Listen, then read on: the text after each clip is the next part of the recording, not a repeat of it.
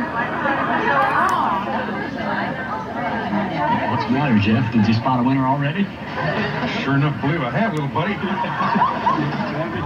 Which one? That one right over there.